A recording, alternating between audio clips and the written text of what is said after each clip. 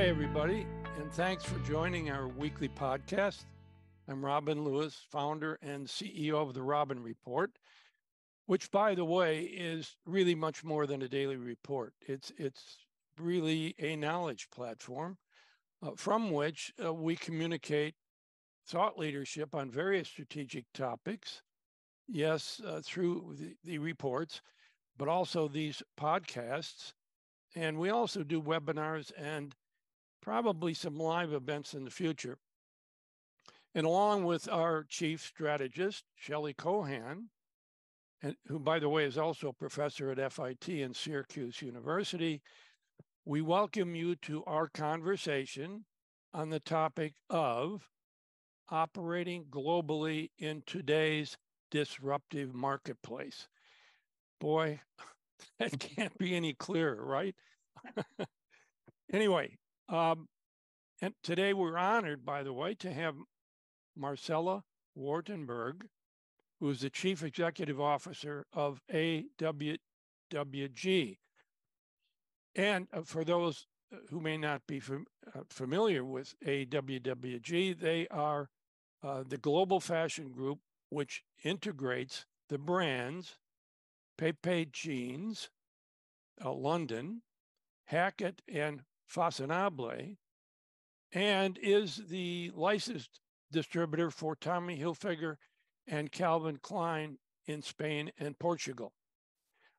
Um, she assumed the CEO role in 2019, and Marcella's vision is a strategy focused on consumer and product.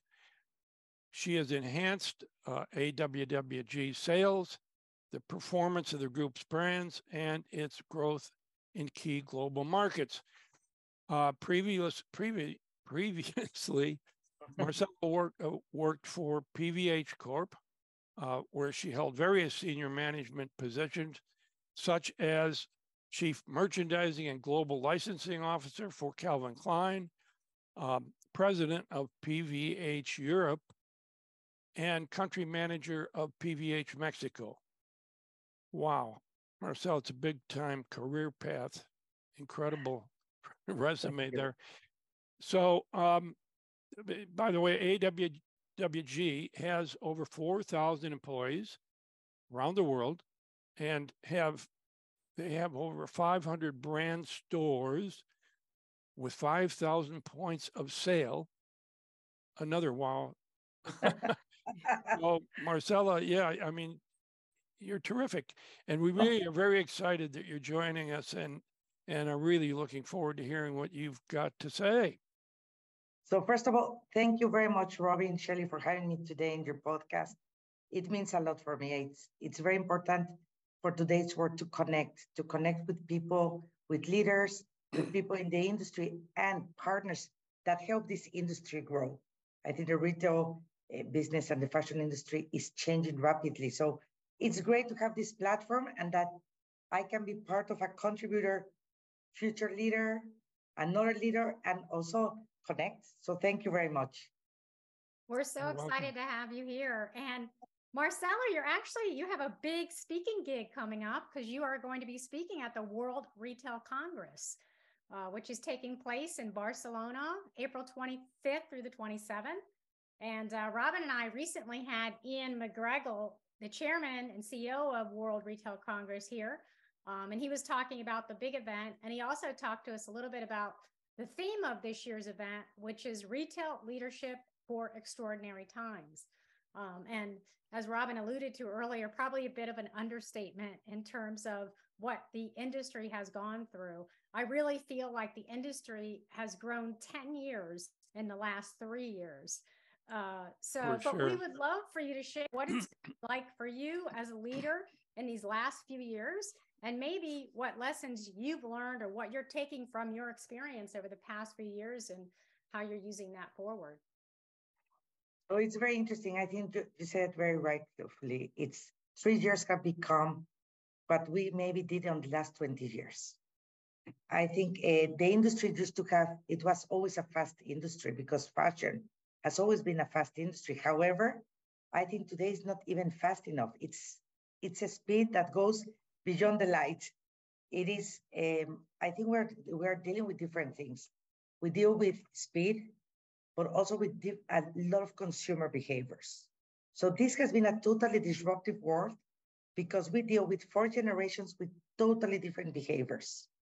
We sometimes forget about it, but uh, they, the, the, the retail industry has baby boomers that has certain experience, expect certain service, is expecting also certain tools.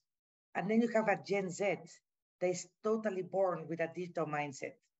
And when you have brands or a retail environment where you need to cater two or three generations in one location, you always have a mix of the four generations, but you have more a target for one specific. And then you, you can go more, a little bit more to the left or to the right. It becomes a very big challenge for the companies to say, okay, how do I cater that consumer? How do we make sure that we get for the baby boomer the experience and service we have, and to the Gen Z the digital needs? So the investments for the companies has been a lot on how do we make sure that we don't lose this and we invest in this. So it's almost like double because you need to continue renovating yourself and at the same time adding new. And it's very disruptive also because it's also not only at consumer level. I also think that employees, we are dealing with four type of leadership. What is the expectation of an employee? How do they like to work remote and hybrid versus being at the office five days a week? What is the priorities for one than the other one? One, I think Gen Z is very focused on living the moment, the experience. That's what they, they want to enjoy life. Uh, baby boomers, we grew up thinking, okay, we need to build for the future. We need to build the day that we are going to be pension. I think we were thinking too much on the future, and, and new generations thinks about it today. So the disruptor comes everywhere now. Yeah. Is this a good or a bad thing? I think disruption is very good. I think disruption keeps you awake. It can also make you evolve. But the nicest thing is that it has shown us something that we need to be agile. Today, industry that is not agile would not be able to survive. It's not about only innovation, it's how fast you can react to the good things, yeah. but also yeah. to the certain mistakes. It's, you need to test and try and disconnect and connect. And there's nothing wrong with it because it's just evolving. Yeah. you know, you really hit on all the key points, Marcella. Uh, um, really terrific. And two of them stick out. One is this word fast and speed, and the other is agility. And um, I think technology and the consumer today is driving um, these companies and and your companies and all all of the retail industry to to move faster and uh, some of the real big giant retailers you know they, they they've built cultures back in the last century and they have to change those cultures. And a lot of them are struggling. And the, one of the major issues for them is are they doing it fast enough? Um, and I, I i really think a lot of them are not. And that's going to be and, and to be able to, to do it more quickly and make the transformation um, speedier uh, they've got to be very agile as you point out. So um, you know you really started out here by saying giving us the whole picture which is yeah which is great yeah that's why you're doing so well. Yeah, I, I think that we need to think that agility, you need to convince the people that that's the way to go. Yeah. But to convince them, they need to believe on your plan. So there yeah. are things very important today that communication is becoming a key thing. So to change, you need the people. You can have a vision, you can have a dream, but yeah. to make that happen, you need to start with the people. Yep. You can think about the product, you can think about the store, you can think about the e-commerce website, you can think about the consumer, everything. But if we don't have the people to execute that, that That's recipe right. is not gonna work. So I yeah. when we started the transformation in the organization, the first thing I say is I need to start by communicating that transformation to everyone. Mm-hmm. And it's a cultural transformation. Yep. Once everybody could get that mindset, then I said, now we can start driving. But it was very important to invest to share that. I always say the North Star, that vision to the organization. And these are mm-hmm. going to be the priorities. So long term vision, short-term remedies, you know, priorities. Let's move. Yeah. Yep. Um, so, so what are the main objectives of, of that transformation strategy? And what is it that you're kind of hoping to achieve? Okay.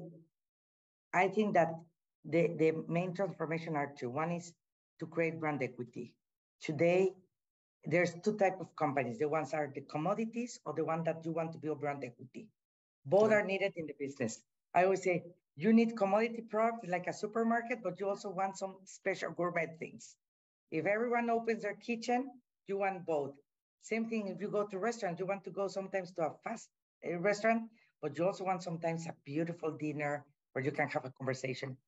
so in our case, any brand that we take in the portfolio and the brands we have today in the portfolio is to rebuild brand equity. And it's uh, brand building brand equity by transformation because brands need to evolve and they need to transform. It's a brand that stays static, you are going to lose. And we know a, little, a, a few examples in our lives of things that were so iconic in a certain moment that they just disappeared by not evolving. I always put an example. Um, I love BlackBerry when it was BlackBerry moment, but they didn't mm. evolve. And there's always someone trying to evolve technology. And what happened? I was one of the last ones to get out of my BlackBerry, and I was having both. And today we learn all to, to evolve. So I think brands needs to transform and evolve. That doesn't mean revolution. It's evolution. I always say take away the R. So that's the North Star. It's let's always look at the brand. What's the brand for? How do we make sure we continue being relevant for the target consumer we have? You can be everything, but if you have a brand, be something. And the other important thing is industry is here to make money in a way that all industry needs to have, either you're in the stock market or you're owned by a private fund, at the end, you need to be profitable. To survive, you need to be profitable. So our goal is create brand equity by transformation with the ambition to always be double digit profitability. Then you know for everyone is nice to dream, but also let's make it a business. Yep. I think when that was the North Star, that's always the vision. However, the priorities coming back to your question, Robin, is it starts by product and consumer. So uh, we have five pillars that are our mantra. And the priorities under each of these pillars, so the projects, they evolve every year. So the, the five, uh, I would say, strategic priorities are always brand and products. Second one, it's all about consumer engagement. It's not marketing, it's consumer engagement. How do we speak to them? The third one is distribution enhancement. And I know there's many questions about channels and distribution. So, but all channels are valid and we can talk more about it later. The fourth is the integration of the digital world in our business, digitalization that brings you smartification, optimization. And last and not least, it's people. So it starts by brands and it ends with people that's ours. So in all this, every year, all the departments, all the organization needs to think how we are going to make sure that these five strategic pillars are having the proper projects. Marcella, that's uh, I love how you outlined that, and I have to say, you and I are the last two BlackBerry people uh, that were there, and I love that analogy. It was great until it wasn't. Right. it just right. fell off the earth, right? Um, but I think when we look at, so you outline these five great pillars, which are amazing. But then when you take what you just outlined and you think about what you said earlier, that, and then you have five generations of customers and five generations of employees and trying to you know get that strategy going uh, is really actually quite complex easier said than done for sure um, but you know yeah. we would love to hear more about the business environment in spain and portugal yeah now rob and i spent a lot of time in the us market and there's certainly a lot to talk about in the us market um, but what's happening down in the iberian peninsula and the other thing I'd love to get some input on is any thoughts you have about the Brexit. Like, has it impacted your business or, you know, might be a podcast, its own podcast down the road, but love to just kind of get some preliminary thoughts uh, from you on that as well. So I need to say the, the, the environment in the Iberian, Spain and Portugal is very positive. I mean, we distribute to 60 countries. So it's very easy to see the thermometer between the different countries. I think the Mediterranean countries trend by nature to be more positive. They're always, I always say, they're the last ones to hit, but also I think they, they have a, a way to say, okay, life it's it's great. So the retail environment is good. Also, the big advantage is that because of the weather, people goes out a lot. Oh yes. And when you have good Yeah. weather, you spend more money because you go out, you see friends. So I need to say, you see here a very stable shopping behavior. Challenging in the way that costs are affecting us. We need to be careful with that. There's an inflation there that we need to acknowledge. We cannot hide that there has been an inflation. We know that there's a slowdown on the economy. So it's going to be a very big thing about market share. Mm. So the investment in marketing, the investment on product, the investment on service, on experience are key in order for you not to lose market share. So in general, we see positive numbers. Even in one in two of our brands, we see extremely good uh, growth because I think we have invested a lot on on, this, on the five priorities. I think where everybody is, suffering a little bit is the inflation, the salary raise, it's affecting everyone. You know, you have big stores, big, big employees, big companies. So that is, of course, always a challenge. People get nervous. Different to other countries, we see that it's much more cautious. For example, in Germany, we see that our stores and our customers in Germany are much more cautious about the situation. They are heated more because the war is closer to them. Yeah. So, uh, and the, and still there's not good weather. So that also Yeah, help, yeah. doesn't help for people to go out. Um, we still see very low temperatures, so spring product is not selling out so fast. But I will say that the environment in, in Germany, it's it's they're much more cautious now. Coming to the third region that I always call the the the UK, no big market for us, mainly for Hackett. It's one of the big markets. Um, Brexit, I think, has affected more on the supply chain process and the logistics process.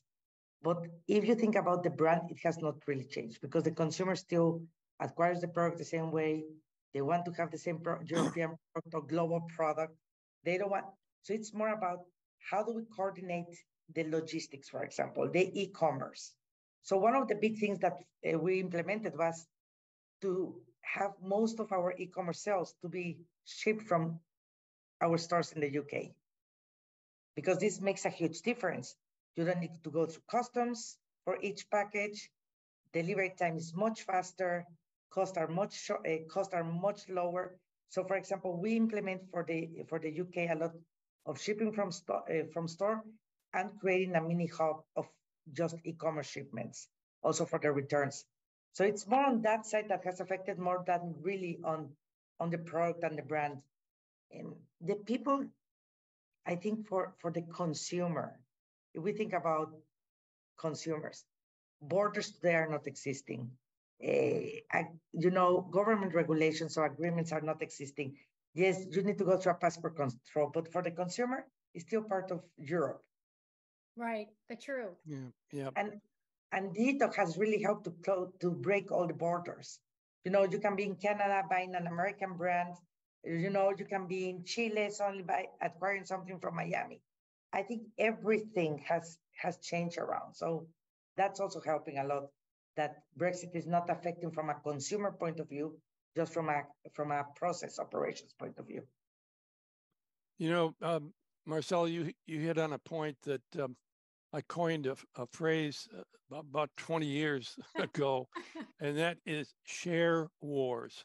I kind of took off of Star Wars, but in this country, at least in the United States, we've been overstored for probably a half a century. And um, so the battle is always about stealing share from somebody else.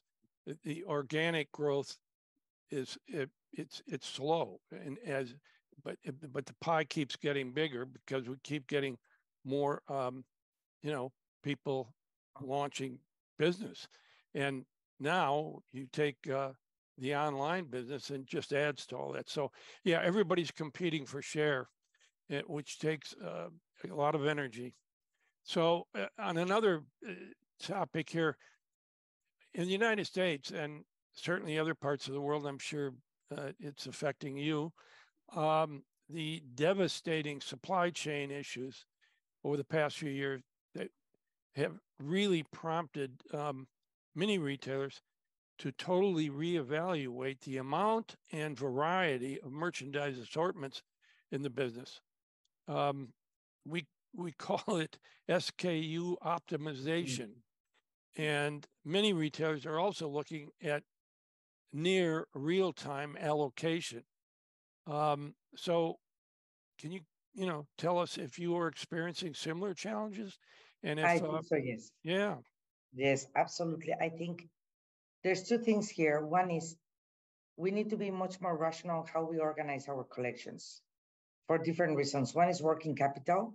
We need mm. to think that we cannot have products sitting there for four to five months oh, yeah. because it's just killing the working capital of an organization. Yeah.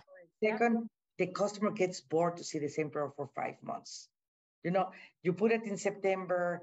Oh, we will put it on the sales after Christmas.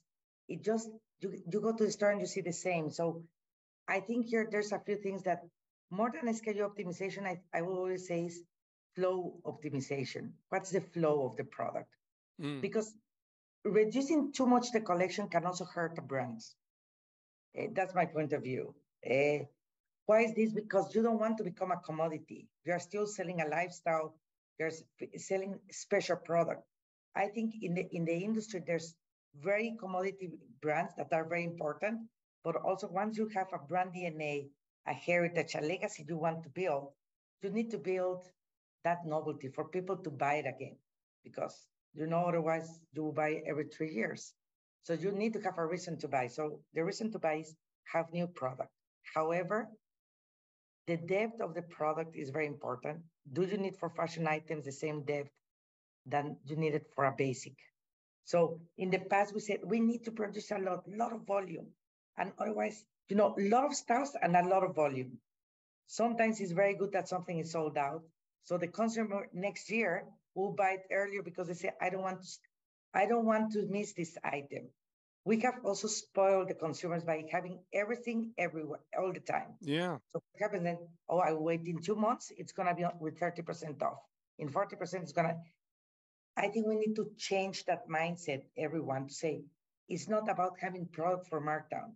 We need to create appetite, desire for the consumers to buy it at full price. Then everybody will make more profit, but also we will be able to have more run on stock turns, less markdowns, better working capital, less waste, because that I always tell the people, the more leftovers, it's becoming a bigger problem on sustainability waste. We don't, everybody wants to be sustainable, but in the moment that you tell them there's way, oh no. So SKU optimization for me is range optimization. From a flow to the number of styles, I agree. Doing too much is bad, but doing too little is also dangerous for a brand to become too flat. So um, it's an interesting topic. I think it's one of the biggest yeah. topics that all companies were confronting. Absolutely. Yeah, yeah it's a real pride. I like your uh, everywhere, all the time, all at once, or you know, it's it's true. Yeah. And I love your uh, flow optimization. Uh, we do we do talk about SKU optimization so much here, and it's it's really you're right. It's really about the flow of goods. Um, and Robin and I actually recently had a, ro- a podcast called Re- Retooling and Speeding Up the Retail Model. And so that really what prompted us to have that one is this yeah. inventory overload that's just seriously clogging up our retail systems and really, you know, as you said, tying up the capital and straining profits from a lot of the retailers. So we believe there's this new paradigm shift of retailers trying to react in near real time to this constantly changing customer demands. And it's becoming a game of what we like to say beat the clock um, when product is being matched to uh, purchasing in real time. We also discussed in our podcast this whole direct to consumer model and how a lot of direct to consumer models are now opening up to marketplaces and how we have a lot of physical stores that are now yeah. doing pop up shops in other retail environments um, all to really just further advance customer reach and drive loyalty. I'm wondering if you're seeing the same thing or you have any plans in your future of embarking on any of these uh, new models. I think it's very important to have new models. I think we need to make sure that we are getting closer to the consumer. Many people that e-commerce is going to change, but for e-commerce to succeed, you need to create brand awareness. And to create brand awareness, you need some stores, pop-up stores, some events, activations. I think otherwise the, you need to spend a lot of money to create brand awareness just digital. So it's very important to have that. That's one part. The other reason where I believe really on the physical stores and the pop-up stores is in the physical is you still have the brand experience and you can create multiple ticket, uh, uh, multiple items ticket because it's showing the brand DNA from a whole way. Which pant goes with which jacket, you get new ideas of styling that sometimes in e-commerce, you go straight, I want the pant, you click the pant, you put it in the basket and ready. So I believe very much in physical stores. I just think the balance between physical stores needs to be sometimes map out based on consumer. I, you know, it's again, you don't need to have a shop every corner. Sometimes it's good for the consumer to drive at least 10 minutes to get to the store. Pop-ups, it's incredible because it's an unexpected. People likes to be surprised. So suddenly you're walking and I say, oh, what happened here? So I like pop-ups because of that. I, it's not that you will sell a lot, but you will have that wow moment to say, oh, that something happened here. Maybe hmm. you have a small assortment, but that will create brand awareness. Yeah. It will make people go into your e-commerce and click. You can create a, also something fun on the pop-up. It can be an experience, can be customization, it can be about designing your own item. I think it's also a way to connect with the consumer and see also how the consumer is moving, speak to the consumer. E-commerce is more mainly a one way and virtual. Sometimes you need that emotional. I always say to everyone in all my conferences, I'm sure you will hear it in Barcelona, is the fashion industry is an emotional business. We sell emotions. We exist mm-hmm. on your first day of school. We are there for your wedding. We are there when you in, met someone that you like. Uh, when you became a, a mother or a fan, you remember what am I gonna wear? So we are still connected to emotions. Yeah. So disappearing physical stores and disappearing pop-up stores, it can also miss the emotion. You are gonna miss it. Now the whole thing is the balance because physical stores have certain costs, pop-ups have certain costs, and e-commerce. The most important is that the, you think about it from a brand perspective profitability and not only by a channel profitability. Yeah, you hit on one of my greatest uh, topics. Uh, you know, I've written about the fact that this is the distribution century, and the point you made is couldn't be more true, and we're going to see more of it, and it's going to accelerate. And that is getting closer to the consumer, and being on many different um, distribution platforms.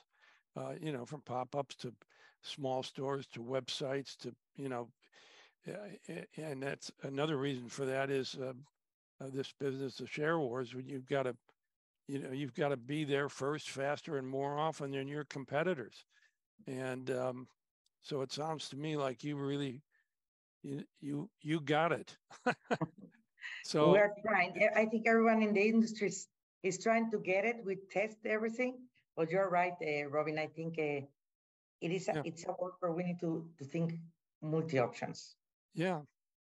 And um, the other the other element that Shelley and I've been keeping a watch on is the shift in consumer spending, and of course in the U.S. market. But um, the consumer price index in the U.S. has gone up, up and away, and many consumers are feeling the pinch, especially on non-discretionary spending. So, do you have any insights on the consumer market and shifts in shopping behavior where, where you are, you know, positioned? No, yes. Look, prices has gone up in Europe between in the fashion industry between eight and I would say almost reaching 20%, depending on the brands. Okay. Wow. Yeah. Uh, I think that there's a few things because you take you always take average price. It's very difficult to compare apples to apples. I think one of the important things is um, that's one. Second, the shifting of, of expenditure has changed a lot. Number one, it's really we have on the top three, it's all about health, education, and definitely experience. Travel has become massive mm. on the on the on the wallet of someone. So what happens with the retail and fashion industry is becoming already fourth, fifth, but there's a moment you need to satisfy that. So what I again is we need to gain market share. So you need to be spending and investing on brand awareness, speaking to the consumer. However, I said, okay, we need to increase prices. Cost of living is increasing. Yeah. Uh, my salaries are increasing. My raw materials are increasing. My supply chain is increasing. I cannot sell the product for the same price. However, how do you create, and I will go again to the range optimization is, if they're used to have, I will always say, something that was costing you price opener was, let's put it this way, 50 euros, just to put a number. You should still offer something for 50 euros to the consumer. Oh, right. But maybe you need to offer, instead of 10 items at 50, maybe you offer just two so that they still know that there is something for that. Now, mm.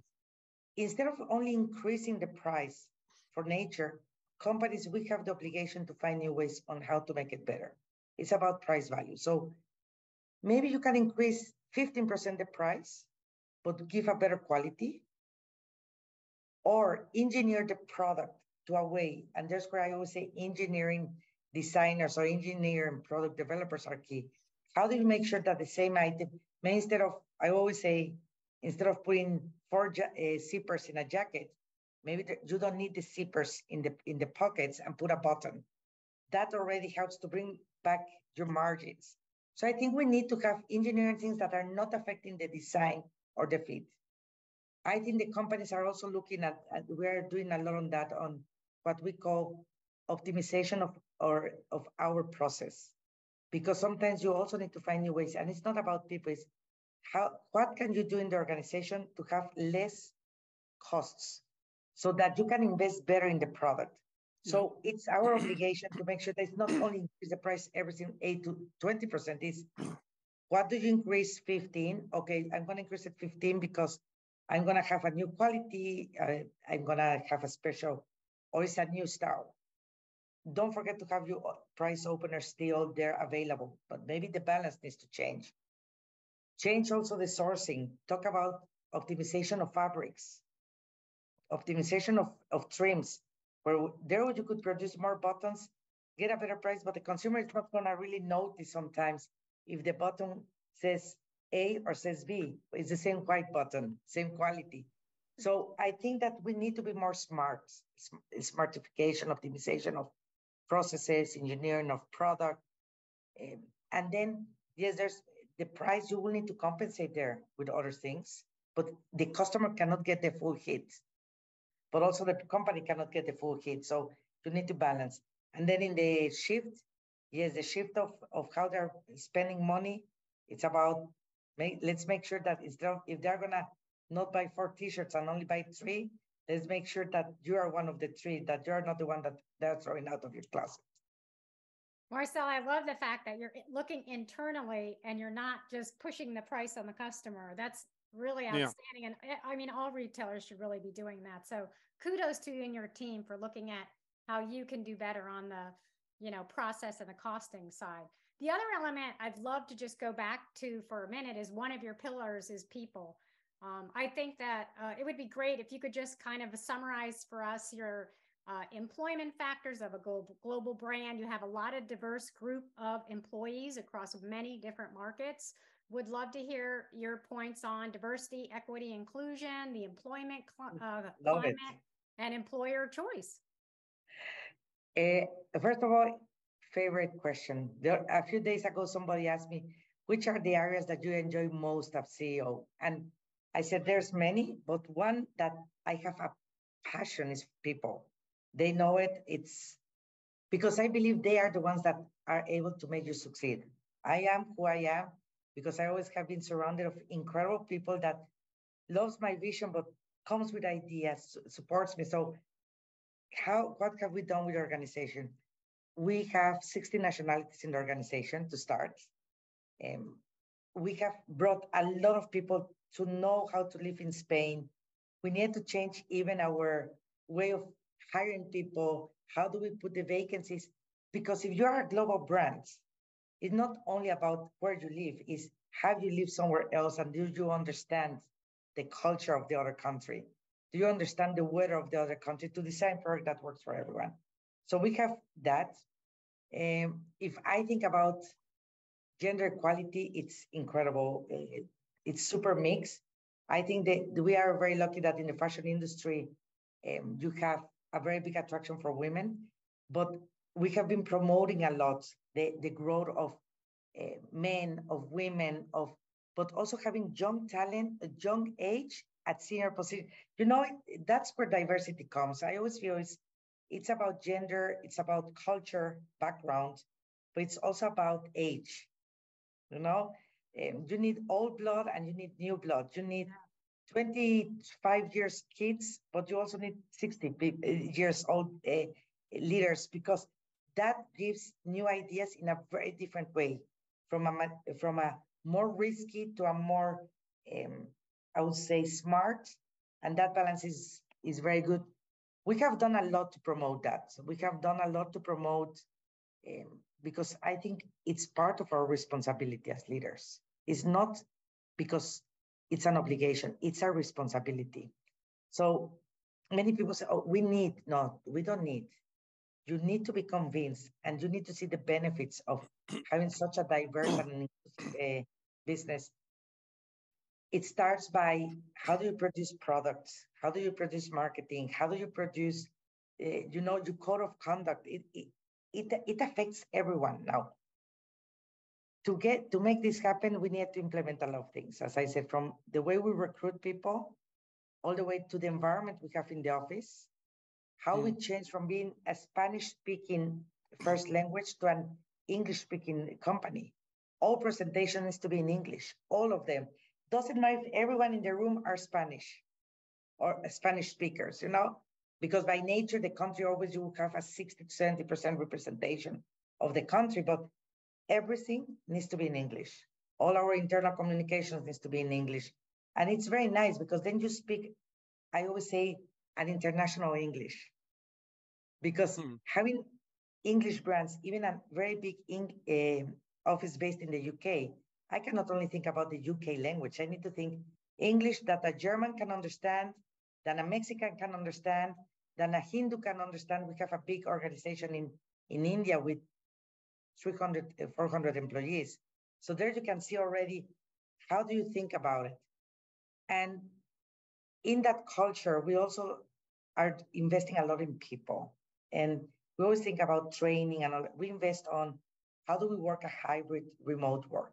You know, how do you balance between collaboration and physical work? Because the industry is about creativity.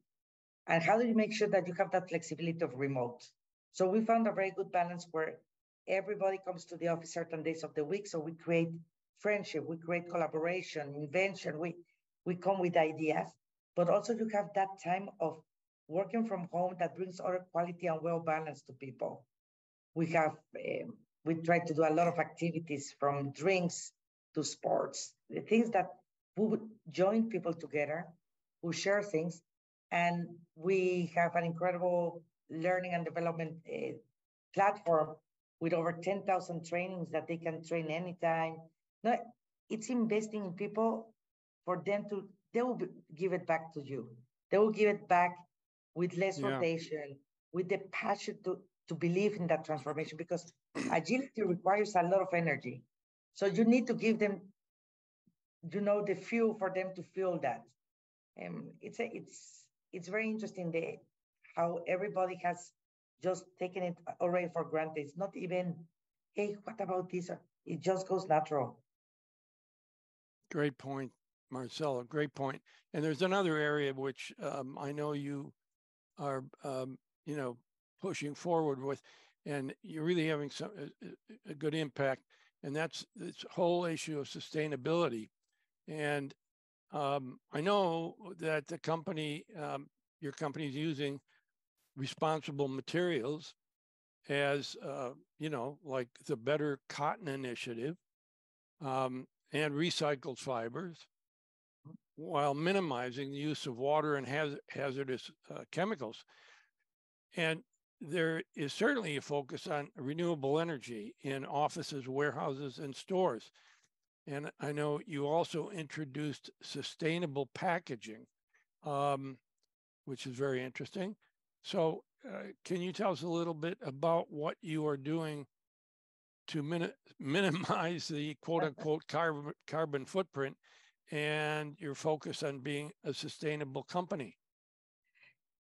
Very, very interesting, Robin. I think some suddenly sustainability became a couple of years ago a big first marketing vehicle, then became a government regulation. Now the consumer was demanding, like all the yeah. so we have governments, financial institutions, consumers, everybody talking about sustainability. And I said, look, again, it's like diversity and inclusion. It's our responsibility. It cannot be that a government is pushing us to do better things for the planet. So for three years ago, when I started, I created four pillars, products, people, partners, and places. Ah. So sustainability needs to be touching all these four.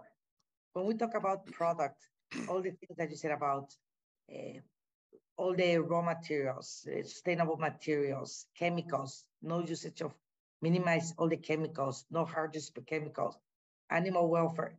For each brand, we have a platform. But one of the big things I asked the team was, don't show me great ideas, show me great impact. So instead of making one jacket that will sell 500 pieces, it has an incredible storyline. We are not going to change the world with 500 jackets. We are going to change the world with our denims, for example, in Pepe, that represents 35% of our turnover. You know the amount of jeans that we sell? So why don't we look, all of us, all the company, how do we make our jeans more sustainable? So what we did is that is an impact. So we changed all jeans are now, all of them, 99% used with um, responsible materials. That means BCI cotton on, no hazardous chemicals. We have all kind of, um, we save millions of water, but millions, because we have a partner with a great company uh, that there's a technology called Wiser Wash that we it's washing the product wiser. So with one cup of glass in 10 liters of water, we can wash the same jeans by air and ozone. And, mm. and then I said, you see what means all partnering together. Or for example, in Hackett, how do we make all our lambswool sweaters? You know, how do we make sure that we are taking all these lambswool from sustainable farms? Um, so I think product was very important. Now, you can do great product, but if you are not being investing in people, that means fair salaries with, with our factories. How is the quality of how the people are working in our in the factories? What are we investing for the underdeveloped countries? What are we investing in our people well-being? How are we avoiding the overstress? So people, it's also part of our sustainable planet. Not only the factories, also in our offices. Then the third one was about the place, the partners, all our suppliers that we have, but not only of garments, but the one of our stationery, the one that's our partner in digital, we ask to have that mindset. Okay, to have the mindset. They need to, we need to all team up. They help me, we help them. How do we team up to have that? And we do a lot of social programs. We have uh, every month at least a social program. Instead of wasting the product, how do we donate product? How do we help certain uh, certain diners? How do we help, you know, certain societies when uh, we have problems like Ukraine. How do we give jobs to people that needs jobs? And then the last one that's about our places where we are talking about all renewable energy in all our stores, in our offices. What do we do with all, uh, for example, we don't have garbage cans. People needs to walk so that we can recycle things. Everybody doesn't have a private. Sometimes you need to walk 20, 30 meters to get one garbage can. But we like that. That also make, helps people to make exercise we recycle everything, but then food, uh, the CO2 footprint, it's very important for us logistically wise. So we are creating a, how do we create uh, rounds to the UK in our vans? What type of cars are we using? Who are our logistic partners? How are we using? How do we avoid air freighting product? We go back to the flow optimization. You know, better to have it by sustainable vessels, sustainable trucks. I think, and packaging is a big one because we love e-commerce, but the amount of packaging that goes in there, it's ridiculous. So also we are promoting to right. avoid, to reduce the footprint, the carbon footprint by bringing it to store, combining orders and all this kind. And part of the shipping cost goes to donations of uh, of uh, minimizing the CO2 footprint. Well, I'm sure you're making a big difference. Um, I hope. And, I, look, I hope. Yeah. So, um, you know, your initiatives are incredible and absolutely necessary. Um, anyway, I know we're, we're kind of running out of time, Marcella, but uh, before we um, wrap up, um, tell us what's on the horizon for AWWG in uh, this year and beyond. I, what's in the horizon? I think the horizon is to continue evolving. I think that is something that uh, we need to stay, uh, keep moving. Otherwise, we are going to become irrelevant. So what's in the horizon? I would say that at the end, it's about evolution. It's evolving and making sure that our history is based, it's built, our future is built in our past. That's it. So in the horizon for me, it's the continuous evolution and making sure that the, the business continues speaking to the consumer. We cannot be a mm. one way. We need to speak to the consumer. We need to be an emotional uh, business. We need to be there for the consumers. As a business, is to continue growing. We are looking for expansion in new new territories. We want to one of the big uh, focus points for the next three years is definitely the U.S. market want to Great. go there. Yes, that's one of the big ones. We already started by expanding a lot in uh, Latin America. So we see horizon the US. It's a big horizon for us. We are we want to continue with the incredible uh, awareness we have in India and all the countries around that that is working very good. And Europe, I think Europe, we need to make sure that um, we don't stop being relevant. Thank you, Marcel. It's yeah. great having you on our show. I know we're over time. Robin, you want to do the wrap up for us?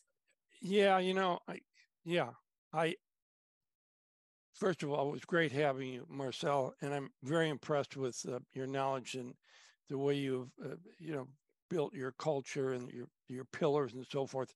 It's very impressive. And you know, as as I watch the big picture of transformation around the globe, um, there's an astounding amount of commonality and similarity of the huge challenges, but also of the opportunities, which, you know, which makes your sharing with us today. And of course, at the World Retail Congress, uh, it's hugely important for that reason. So, sharing with leaders around the world and speaking speaking of which we wish you great success in your big speaking session there and i would by the way urge our listeners to attend. Barcelona isn't so shabby in April, right? So, in closing, Marcelo, um, please tell our listeners uh, uh, that are attending the WRC what day and time you are speaking. So, first of all, just to wrap up, as now my side, Robin, Shelley, don't yeah. stop doing this. We as leaders, we need this podcast. It's incredible to hear what's happening with other industries, with other companies, with other leaders, because we are all confronting that. And this is one of the magic things of having digitalization around us. So I encourage you to continue inviting all of us to attend uh, this podcast, and we are going to be supporting. On my side, I want to ask everyone to really go and attend the World Retail Congress. It's going to be great in Barcelona. I'm going to be there on the 25th of April around mid, uh, midday, around 13, 13 hours, so around 1, 2 o'clock of the afternoon. Uh, I believe it's 1.45. But it's very important. It's not only to look at me. That's why I don't know. I want to tell everyone go and attend from 10 o'clock to 8 o'clock because I think all the roundtables, mm. all the panels are very, very interesting. I'm going to be attending most of them because I also want to learn from my colleagues, from other leaders in the industry. I don't say that one is better than the other. I think it's just great that we can all get there and learn from each other. Great. So thank, thank, you, so much. much. Thank you for being here. For our listeners, you can find more of our podcast on Apple, Spotify, Buzzsprout, and of course, therobinreport.com. Look for us on YouTube where we broadcast our podcast um, and link in with us for the latest thoughts about the industry. And, Mar- and Marcella, yeah, we learned a lot today, and thank you again. It was terrific. And I want to thank all of our listeners. Um, and once again, every week I invite any of you to send me an email with a topic that you would like Shelley and I to cover. Um, my email is robin at therobinreport.com. Thank you all again.